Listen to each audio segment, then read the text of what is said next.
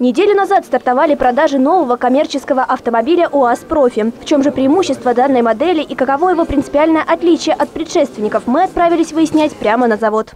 Брутальный, мощный, выгодный и комфортный. Новый УАЗ «Профи» однозначно станет грозой как городских дорог, так и бездорожья.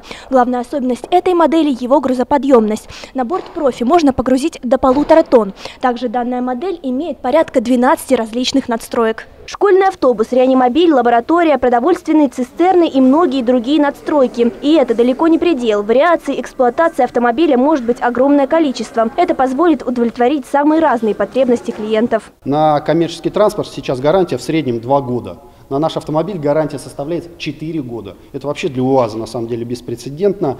А, мы хотим снять все вопросы с точки зрения надежности автомобиля. Мы гарантируем качество а, этого автомобиля. И даже если возникнут какие-то вопросы, для бизнеса это очень важно, не иметь простоев, мы эти моменты снимаем. Сейчас в производстве находится автомобиль с одинарной кабиной, но уже в ноябре этого года стартует продажа полноприводного профи с двойной кабиной. Данную модель автомобиля представили губернатору Сергею Морозову в рамках Совета по промышленной политике. Здесь же обсудили итоги работы ульяновского производства за 9 месяцев. Любой автомобиль, который мы сегодня выпускаем э, на рынок, это свидетельство не только э, э, такой вот промышленной мощи нашей страны, но это хороший такой сигнал нашим партнерам за рубежом о том, что санкции санкциями, а э, Россия была э, мировой автомобильной державой, остается и будет такой.